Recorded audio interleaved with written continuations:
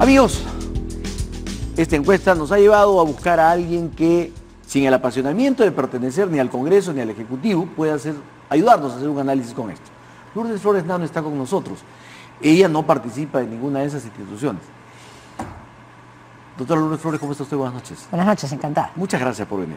No, Yo quiero preguntarle, ¿cuál es su sensación, su percepción sobre el gobierno frente a estas ya tres encuestas donde el presidente ha ido cayendo de tumbo en tumbo, siendo esta la más grave, porque coloca su desaprobación bastante más alta que su aprobación?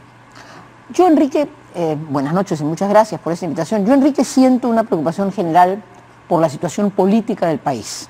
Y te agradezco que me permitas marcar, mm, expresar mi punto de vista desde la distancia que me da no estar en el Ejecutivo y que mi partido no sea parte del Parlamento Nacional en esta ocasión, en este quinquenio. Es un descrédito de la política en general, agudizada en los últimos meses por la crisis que vivimos, por la corrupción, por el mal funcionamiento del Congreso y en este periodo más corto de tiempo, en mi concepto, por la lentitud de reacción del gobierno y el desaprovechamiento de este espacio de tranquilidad en que vive. Todo ese ámbito de desazón que está generando la política se ve reflejado en el deterioro de las instituciones y ese es el cambio que yo creo que hay que producir. Muy bien, hablemos concretamente del presidente. ¿Cómo ¿Está no? haciendo una buena gestión? Con todo respeto, creo que no. Eh, si bien tuvo el mérito de significar un cierto respiro y calma, eh, a nadie creo que le satisfizo la crisis que vivimos en, eh, con ocasión de la vacancia, y el presidente Vizcarra trajo una cierta tranquilidad, no le falta razón a lo que es un instante el escuchado al congresista Cheput. Es decir, eso creó una cierta ilusión inicial. Pero cuando eso no viene acompañado, cuando esa calma, que además supuso de parte del Fujimorismo una cierta también actitud más calmada, cuando eso no viene acompañado de acción, yo me permití decir, con el cariño que le, tierro, a- le tengo a la tierra que es de mis ancestros, de mi padre para arriba, todos somos moquehuanos, que hay que despertarse de la siesta moquehuana, porque no se puede vivir permanentemente en esta situación de no esa, esa frase tan popular de no, no, no- se hace tortillas sin romper huevos, no se puede seguir así. Entonces hay que tomar decisiones, hay que jugarse algunos partidos, hay que trazar algunas líneas. No se puede pensar en la convivencia más o menos amorfa, porque así el país se va a detener y lo que es peor, se va a agudizar el descontento porque se ve que no pasa nada. No se trata de sobrevivir, se trata de gobernar. Fernando Rospilocho ha escrito una buena, un buen artículo. Es muy saludable que el presidente se acerque a la gente, pero viajar no basta. Hay que tomar decisiones, hay que, hay que, tiene que verse una acción, tiene que verse un riesgo del gobierno y no se pueden ver marchas y contramarchas. Eso creo que tiene que, ese, ese cambio de actitud, creo que ese es la muestra de liderazgo que estamos esperando. Martín Vizcarra fue ministro de Pedro Pablo Kuczynski. Sufrió con él el tema chinchero. ¿Sí? observó todo lo que le pasó a Pedro Pablo Kuczynski. Es más, vio desde el balcón de Ottawa lo que estaba pasando aquí en toda la crisis. ya hizo bien en mantenerse una cierta distancia para su propio Muy bien, cálculo. ¿no? pero lo que voy es, Sí. si vivió todo esto, ¿por qué no reacciona ahora y despierta de esa siesta moquehuana? Creo que por varias razones, y esa es la, la- la sincera reflexión que quiero hacer con el mejor deseo de por una persona que creo que es un hombre de bien, creo que es un peruano con, con ganas de servir al Perú, y creo que es un, un- un candi- un- un presidente que en estas circunstancias le ha tocado el destino de esta etapa en la que su tranquilidad puede ser valiosa. Primero porque creo que ha, mar- ha formado un equipo, como es lógico por las circunstancias, a último momento, y supongo que está- Improvisado. digamos que, que con gente valiosa, pero que se ha conocido en el, el día de la juramentación. Ya ha tenido un primer revés con el ministro de Economía, lo cual revela que probablemente al interior del gabinete no se han afiatado puntos de vista. Por ejemplo, Su segundo revés. El primero fue con el ministro de la Producción. además, claro, eso fue, ya un, un desa- desaguisado personal del, ministro. Pero en fin, entonces, ¿esto qué revela? Por ejemplo, en lo económico, esa era una línea clave. ¿Verdad que una línea de contradicción con lo que el gobierno anterior, con, lo que el presidente Kuczynski había ofrecido en la campaña, vamos a bajar impuestos? Acá estaba una línea de más bien aumentar impuestos. No necesariamente yo coincidía con todas las medidas, pero veía una línea, hay que ir por, lo- por- por la recuperación del fi- del fisco. Si al ministro de Economía se le quita piso, eso significa que al interior del gobierno no hay una sola línea clara. Fue un error, fue un error rectificarlo públicamente. por supuesto, porque por- equivocado no la medida, aparentemente todos pensamos es una orientación del gobierno. Bueno, Y el se- presidente Vizcarra la defendió. por eso, pero el primer ministro no. Entonces, eh, en esa contradicción no puede estar el gobierno. Esa es una línea. El ámbito de la inversión, particularmente la inversión minera, se anuncia Toro Mocho, después ahí se habla de una suerte de consulta, o sea, no se ve claridad, no se ve, no se ve, no se ve un gobierno que quiere jugarse por algo, que quiere poner el pecho por algo. Si se equivocan, errar es humano, pero es una orientación, es una línea. No se trata de tres años de sobrevivencia, de parálisis o de, de mediación del país. Pese a lo cual hay sectores que están más o menos moviéndose, la construcción ha subido un poquito, incluso la propia recaudación en abril no había estado tan mal, entonces hay algunas señales, pero, pero que si esto no viene acompañado de una acción de gobierno con claridad de objetivos, por ejemplo, han tomado la bandera de la anemia, linda bandera, extraordinaria, esa tiene que verse reflejada con claridad, con un empeño nítido, entonces eso es lo que creo que necesitamos ver para salir de este aletargamiento en que está el gobierno. Muy bien, entonces habla usted de que el gabinete no tiene esa fuerza, no me parece, porque no, no tiene, porque no tiene esa coherencia, ¿no es cierto?, que viene, que debería venir de un conocimiento previo. Segunda cosa, ¿cuál cree usted ah, que es? eh, eh, Es cero uno. La segunda es que quizás el gobierno necesite más voceros políticos. Incluso entre los propios ministros, ¿no? Yo creo que hay algunos de ellos que deberían jugar ese rol más político y, y no los vemos. O sea, ¿Se hay están unos- sobreexponiendo Villanueva Vizcarra?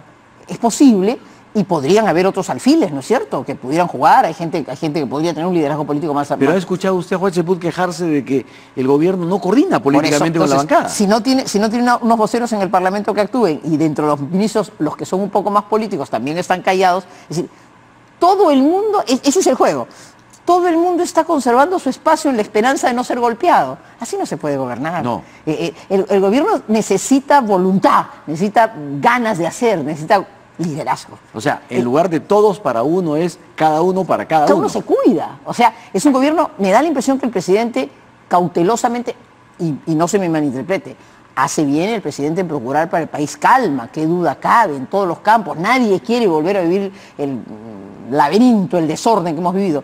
Pero esa calma no puede ser inacción, porque el- la reacción ciudadana es, ¿y qué pasó acá? Ya se acabó la primavera, ¿y ¿Qué pasó? Ese, ese, ese, y todo eso se va reflejando después en un descontento popular que uno no sabe dónde se canaliza, ¿no? Entonces, claro, nos viene un mes de ilusión, ¿no es cierto?, de goles y de, De- de adormecimiento, de adormecimiento, ¿no es cierto?, de- de mundial. Pero el mundial dura un mes, ¿no es cierto? Y después vienen las fiestas patrias, pero, y vendrán las elecciones municipales, pero no podemos vivir así. O sea, el Perú no puede darse el lujo de quedarse dormido y de imaginar que las cosas lentamente caminen. No merecemos eso. Somos un país que ha vivido un momento estelar hace algún tiempo, luego entró en un declive, salimos de un quinquenio como el de Humala de aletargamiento, esperábamos que Kuczynski levantaba, no lo logramos en los primeros 18 meses, bueno, no podemos pasarnos pues eh, 40, 40 meses más en esa situación. ¿no? Gobierno débil.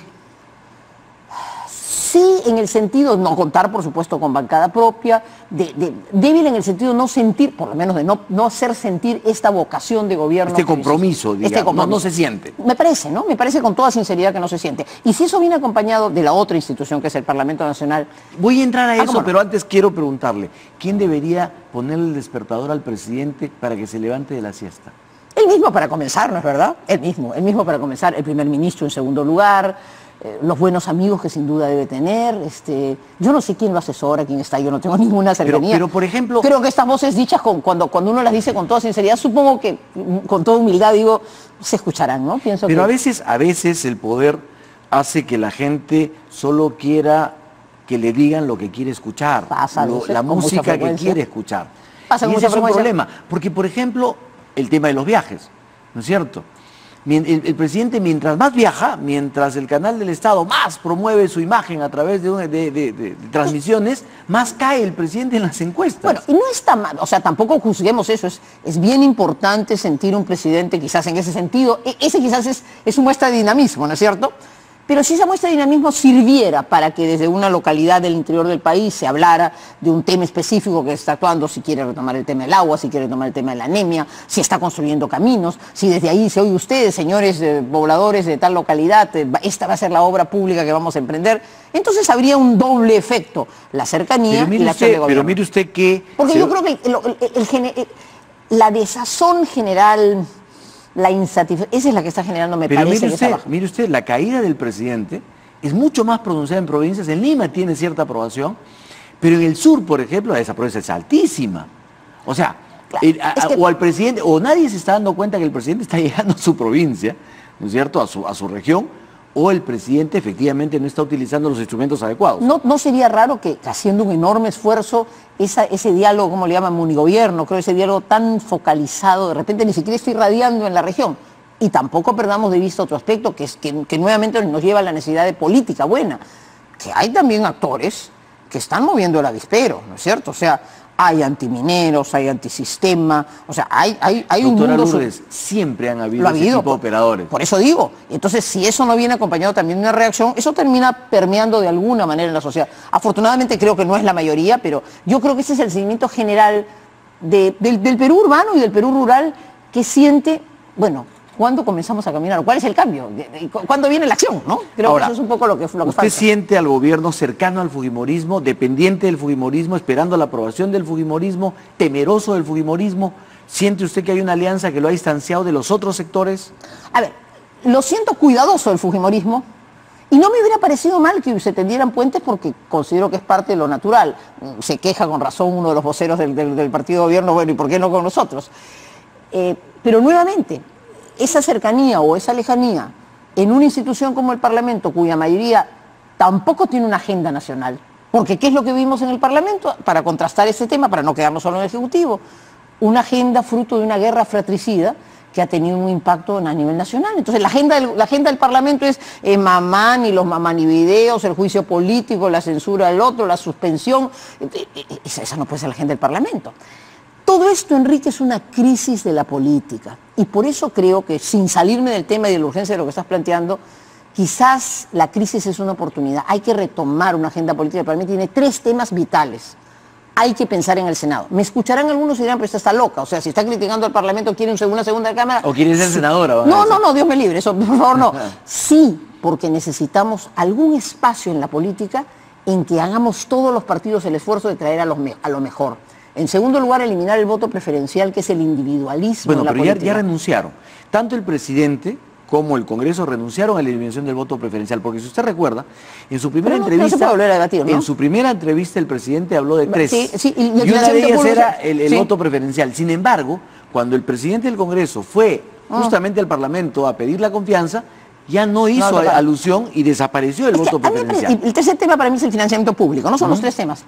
Como mensaje de un cambio político de fondo para el 2021, ¿no? Obviamente esto no va, no va a tener inmediata acción. ¿Por qué? Porque yo creo que tenemos que ser conscientes, ojalá estas elecciones municipales y regionales sean una primera ocasión, que necesitamos volver a la política grande, a la política importante, a la política trascendente, que ya tenemos que acabar con este individualismo, con esta improvisación. ¿Cuál es su opinión con respecto a la gestión del Congreso? Que además tiene como presidente a un ex correligionario suyo, a Luis eh, y, que por supuesto me tomaron la parte de crítica que hice, por, el que yo tengo enorme aprecio y gratitud, porque cuando estuvo con nosotros fue una persona y porque acaba de tener con Luis Bedoya Reyes un gesto muy lindo al publicar un maravilloso libro que recomiendo a todos para hablar de esto, de la recuperación de la buena política, que se llama Joven Centenario. Pero ¿qué, ¿qué opina usted del Congreso? Creo que el Congreso está cometiendo el error nuevamente de tener una agenda muy, como digo, basada en, el enfrentamiento de la, propia fuerza mayoritaria, porque ese es el tema que trasciende el Congreso, el pleito de los dos bandos al interior del Fujimorismo y las consecuencias que trae. Eso ya trajo la caída de un gobierno. Y ahora seguimos en la novela que de repente tiene un capítulo más y a algún juez se le ocurre con un amparo regresar al señor Fujimori y a los otros dos al Parlamento. Puede pasar perfectamente. Entonces, ¿se imaginan? O sea, esa no puede ser la agenda del Congreso. Nadie está teniendo una agenda nacional, nadie está poniendo dos o tres temas centrales para que el país tenga un destino. Yo creo que eso, eso es recuperar la buena política y eso al más sencillo y al más importante de los parlamentarios le haría mucho bien, concentrarse en algunos pocos temas que sean relevantes. Su evaluación del gabinete. Si tuviera que poner una nota de 0 a 10. Bueno, no lo desaprobaría, pero desde luego sería una nota regular, ¿no es cierto? Porque me parece que gente valiosa, pero que todavía no despega. O sea, cuando los, vemos, cuando los veamos despegar, diremos a ver si lo están haciendo bien o mal. Hoy día, la verdad es que lo siento en el partidor con ganas de partir y no necesariamente. Ahora, quizás están haciendo muchas cosas y como soy una, ciudadana más, eh, no deben estarlo transmitiendo suficientemente porque si estoy más o menos enterada de lo que pasa y no siento eso, ¿qué le pasará al más humilde peruanos? ¿Y César Villanueva?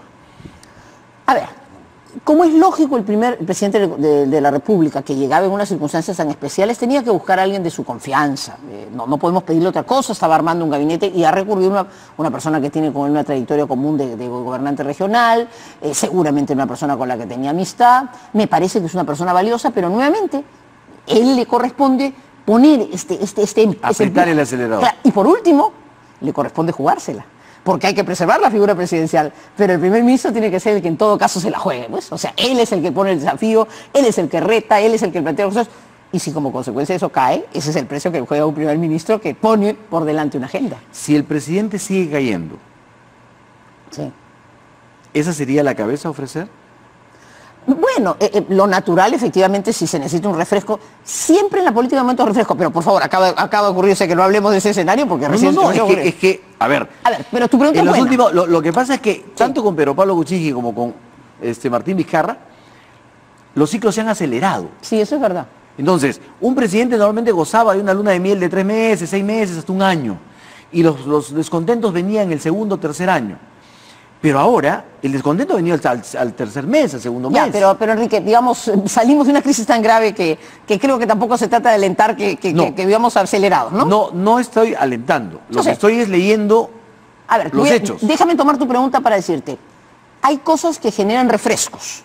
Hace un instante tú le preguntabas al congresista Cheput, ya no sé cómo es la matemática, pues efectivamente tres, de, tres o cinco de, de APP votan para acá. Pero por ejemplo, un refresco sería una mesa directiva eh, renovada por un... Que una no figura- fuera de Fuerza Popular. Sería un refresco. Lo ocurrió con Antelo Flores Arauz indiscutiblemente en el gobierno de Toledo y lo hizo muy bien. Ocurrió con Lucho Iberico en el último gobierno y lo hizo bien. Es decir, o sea, eso ayuda, esos son refrescos.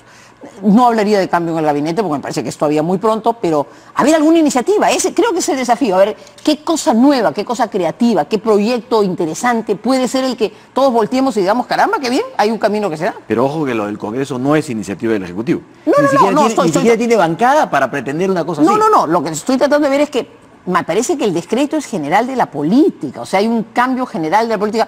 Por eso, con toda modestia, y perdóname el, el comercial, nos hemos propuesto bajo un lema, estamos de vuelta, el PPC, volver a la cancha política ahora en las elecciones municipales y regionales, con Alberto Bengolea y un equipo estupendo en Lima, pero también con un alcalde en Yabarí, este, con el que tuve el gusto de, conversar esta, esta tarde. Es decir, volver porque creemos que los partidos políticos con experiencia y con trayectoria, aunque hayamos pasado un mal momento, tenemos que estar en la vida nacional. Doctora, nos ha ganado el tiempo. Seguro. Por Vamos a, volver a hablar. Le, le agradezco muchísimo por esta reflexión y No, ojalá le escuchen y alguien despierte al presidente de eso, que usted ha llamado la siesta porque bueno. Dejando constancia que la tierra de mis ancestros, así que lo hago con todo cariño. Gracias. Muchísimas gracias. Vamos a una pausa, regresamos.